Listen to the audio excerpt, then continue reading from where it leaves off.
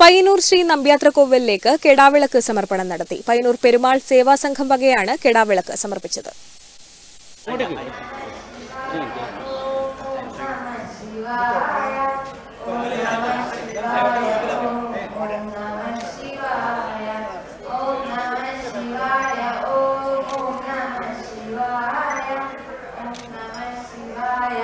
പെരുമാൾ സേവാ സംഘം സെക്രട്ടറി മണി സുബ്രഹ്മണ്യ അയ്യർ വിളക്ക് കൈമാറി. ക്ഷേത്രം മേൽശാന്തി മാധവൻ നമ്പൂതിരി സുബ്രഹ്മണ്യൻ നമ്പൂതിരി എന്നിവർ ചേർന്ന് കെടാവിളക്ക് ഏറ്റുവാങ്ങി തിരിതെളിയിച്ചു. Trustee board chairman T P Sunilkumar Perumal Seva Sangham മെമ്പർമാർ ക്ഷേത്രം എക്സിക്യൂട്ടീവ് ഓഫീസർ തുടങ്ങിയവർ ചടങ്ങിൽ സംബന്ധിച്ചു. Network news Payyanur.